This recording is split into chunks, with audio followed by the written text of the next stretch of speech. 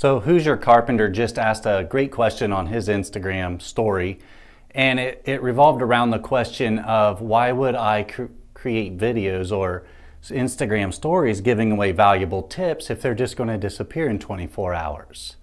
Well, here's an idea that I think uh, would work really, really well. And that is to make a video, two to three minutes long, and showing uh, your tip, you know, and then chop that up into three videos and put it on your Instagram feed, not your stories. But now that you can have carousel uh, feed, carousel posts on your feed, put it on there for, you know, 60 seconds each. And then chop it up into 15 second segments and put it on your Instagram stories.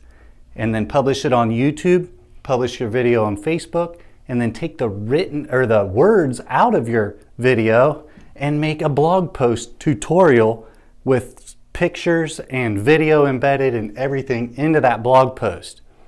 It's a, it's a great way to take one video and make multiple places of content, put it online, and they will all be reached by different people and interact with you and your brand.